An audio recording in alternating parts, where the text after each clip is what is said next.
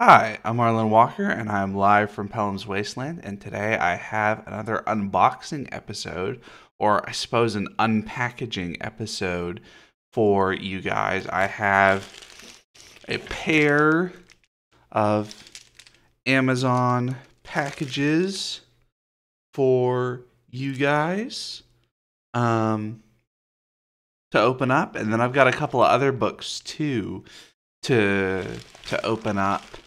Um, and I want to do a little bit of a, community chat thing. Um, maybe uh, at the end, towards the end of this video, just talk about kind of what's been going on and uh, what my plans are and all of that sort of stuff. I'm I'm not entirely sure if I'm going to do that in this video or if I'm going to do another video for that. Um, but we'll see. We're gonna play it by ear and open up some books. Oops, spoiler alert. Uh, yeah, I got some books from Amazon, and I'm going to open the package now. So first one, opening. Da da da. Da da. Imaro by Charles Saunders. Um, so, for those of you who don't know what Imaro is, Imaro is a great um, sword and sorcery hero in the style of someone like Conan the Barbarian. Um, but Charles Saunders, um, who was a fan of a lot of that um, literature, was sort of from a later generation and he was black and wanted to write something that he felt like um, had brought a, a, different perspective to that kind of sword and sorcery. And so Imaro's world is that of a, a fantasy pre colonial sub Saharan Africa. And um, he is a, a mighty warrior, but he's also kind of a loner. And there's a lot of really interesting stuff about um, Imaro. So, this is the first book in the series, and it's divided into basically three. There's it's essentially divided into thirds. Um, this is the Nightshade books one, and I think that there are still pretty cheap copies of this on Amazon. Um, I think I pay like 15 bucks for that one. Um, which is cool because some of the later books, the copies are expensive. And unfortunately, Charles Saunders is no longer with us. He um, he died of COVID actually just recently, um, which is is pretty sad. So the second book, you can probably guess, ta-da, Imaro Two: The Quest for Kush. Um,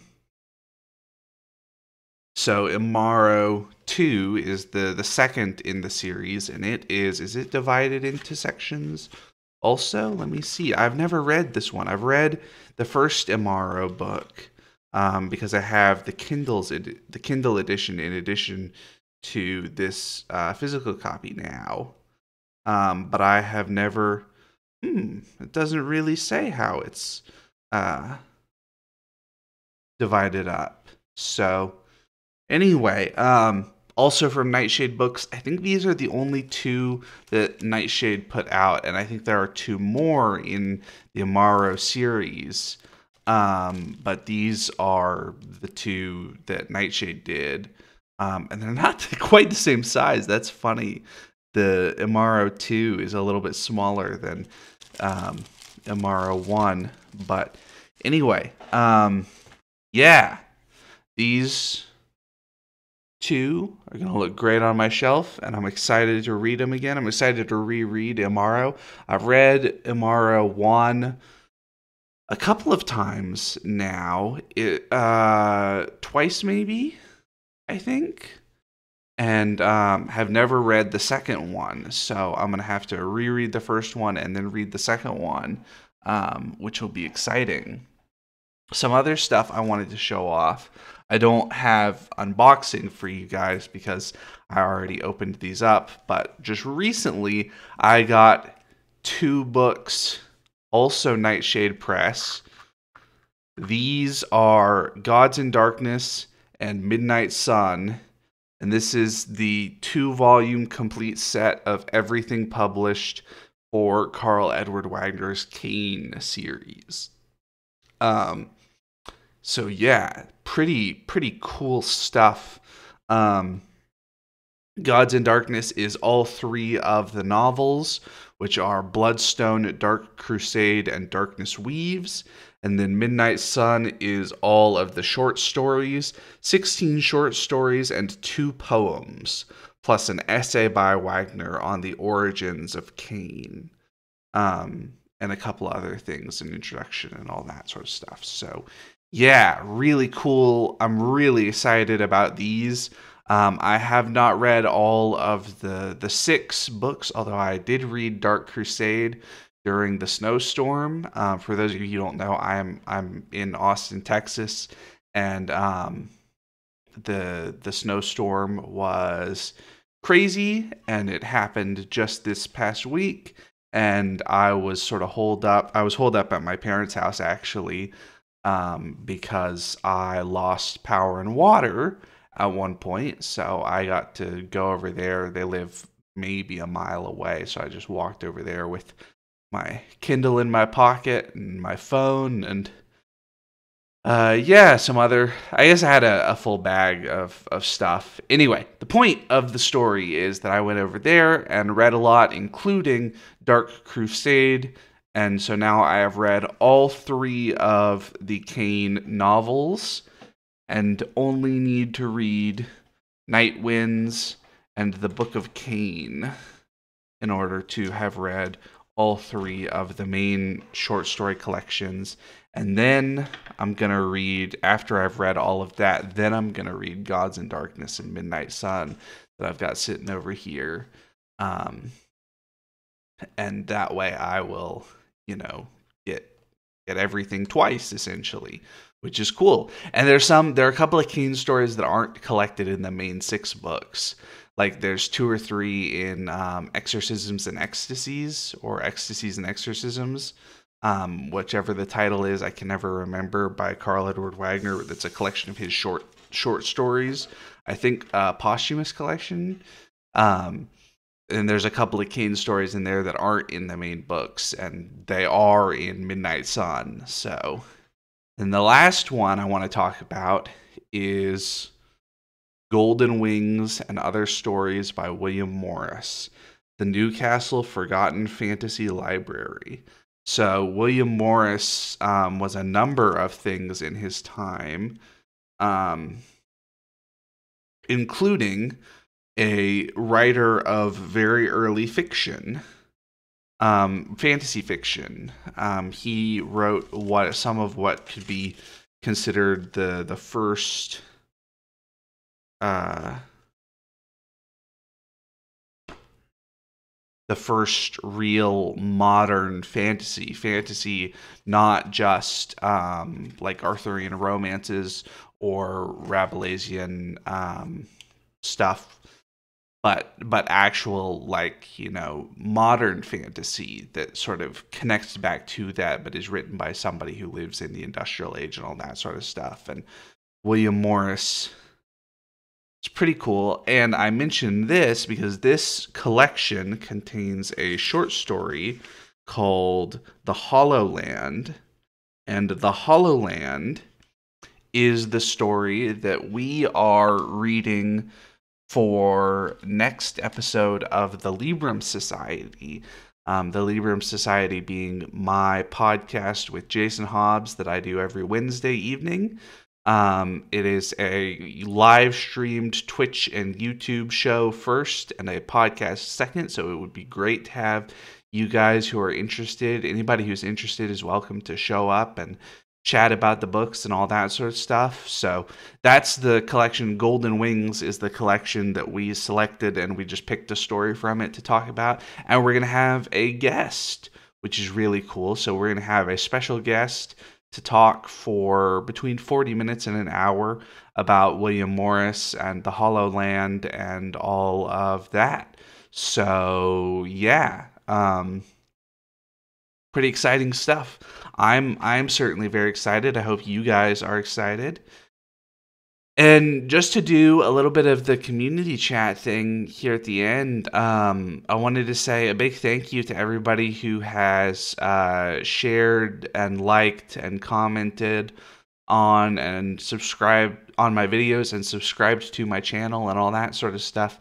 Um, we continue to uh, continue going and growing, continuing to uh, attract new people to this community um, continuing to have uh, positive interactions with people in the community. So it's been really good. Um, it's been a, a, bright spot in kind of a uh, not so great week in a lot of ways. Um, there were certainly times when I was a little worried that you know something was going to flood over here because I burst pipes or something like that while I was over at my parents' house. Um, but everything turned out all right. I'm I'm very lucky to have had uh, heat and electricity and food and water basically through the whole st- snowstorm because of uh, being over at my parents. Um, much luckier than many many people through this time.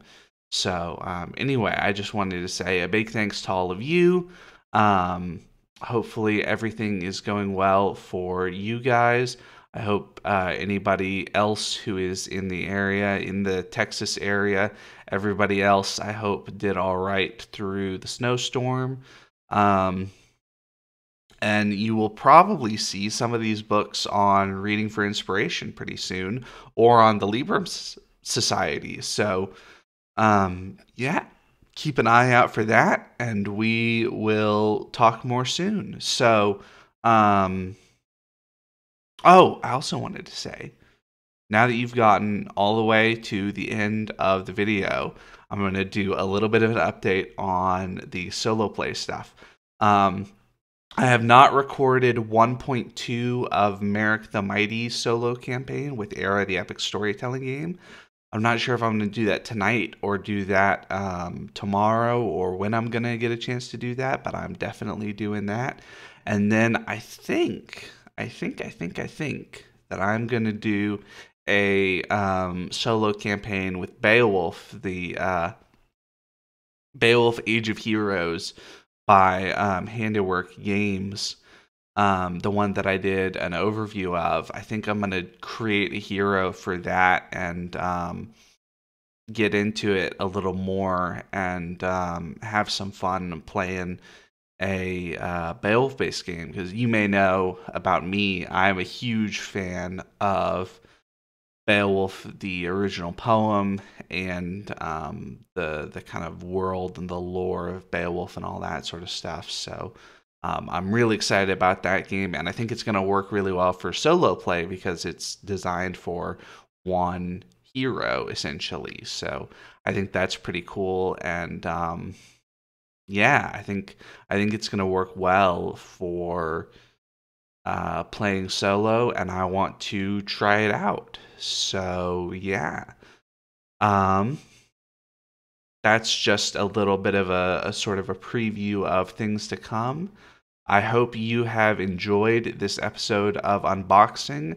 I hope that you are excited about some of the books that I talked about and you know, maybe we'll see a reading for inspiration episode about some of these books. Um, or Libram Society episodes. Like I said, we're we're gonna see, but I'm definitely, um, you know, I'm I, I want to discuss these things with you guys. I want to to have a you know community that talks about these things and um, enjoys discussing literature and all that sort of stuff. So, um, of all sorts, uh, you know, fantasy and science fiction and um, other genres and non-genre literature, more kind of literature, capital L literature, um, all sorts of stuff. I read um, a lot of different things.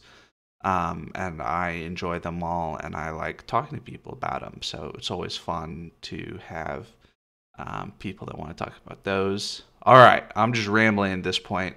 Um, but I hope everybody is doing well. I hope that if you suffered in the snowstorm, you got through it okay. I hope that if you were avoiding or were able to avoid the snowstorm, that you still did all right with, you know, obviously we're still in the middle of the pandemic. So I hope every one of my, uh, every one of the members of my community is doing well, staying safe, staying positive, because um, sort of light at the end of the tunnel seems like uh, at this point with vaccine rollout for a lot of places and all that sort of stuff. So, really hoping things are going to get better soon. Um, all right. I have been Arlen Walker. I have been live from Pellam's Wasteland, and I will see you guys next time. Take care, everybody.